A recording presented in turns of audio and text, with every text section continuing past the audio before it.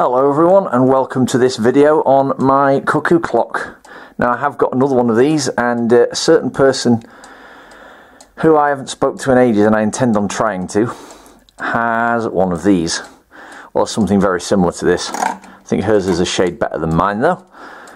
Um, well this is a five leaf cuckoo and it is all kinds of beautiful to look at. If I stand back you'll see just the beauty of it. Yeah, you can see plates on the wall, but there's nothing I can do about them, unfortunately. And there it is.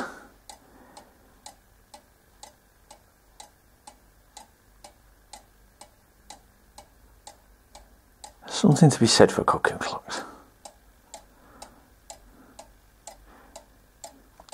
Something about the way they sound and the way that they look.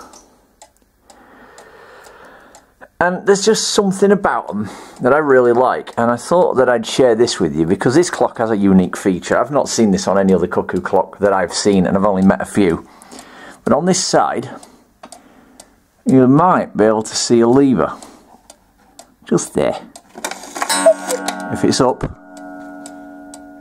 then it strikes. Obviously, it strikes on a half hour. I just pushed it up. Um, round, and if it's down, obviously, if it's up, it's on silent, but it will cause it to strike if it's going to strike. I guess is what I'm trying to say.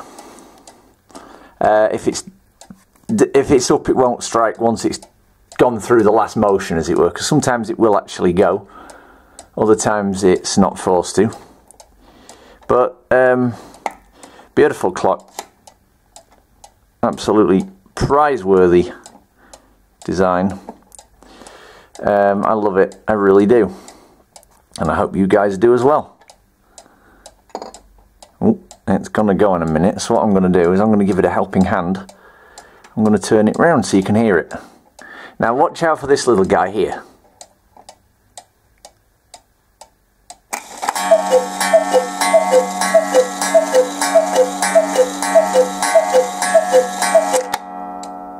There he be. There he be. And that's how much weight I've used there getting that to... It is a one day movement. You can get eight day ones of these, but this is a one day.